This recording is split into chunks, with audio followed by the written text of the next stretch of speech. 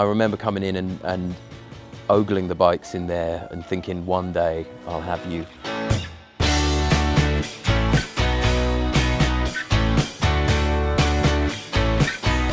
So my name's Tom. Um, I am a retail manager for a uh, luxury fashion store in central London and uh, this is my bike, the Riese Müller Tinker.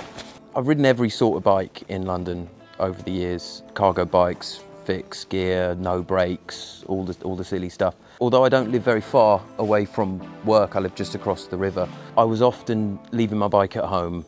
Having an e-bike just gave me that little extra push. But it is really therapeutic, just being able to have that time on the bike in the morning or in the evening. I'll take the scenic route more often than not. I'm not worried about just the shortest route A to B um, and arriving in a, as a hot mess. I'll go a few bridges down to cross the river um, just to go the route that I like taking. Um, and that makes a huge difference to the rest of my day.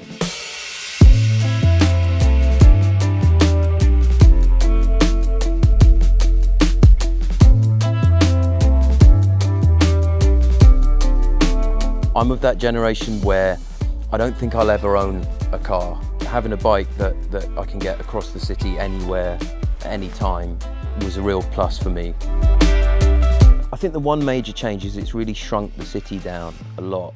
Um, I was born in London, I've lived here my whole life, and, and I think as anyone who's lived in London for any stretch of time knows, friends move away, they move to disparate parts of London, and you can never see people again, even though you're in the same city.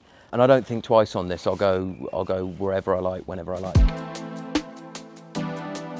I still remember the first time I ever rode a, an e-bike, and I remember back then uh, the look of shock on, um, you know, the Tour de France style racer guys uh, when you'd pull away from the lights.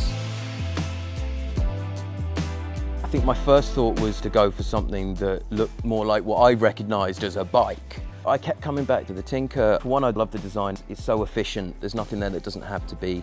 It just revealed itself as being the, the perfect bike for London, perfect bike for a city.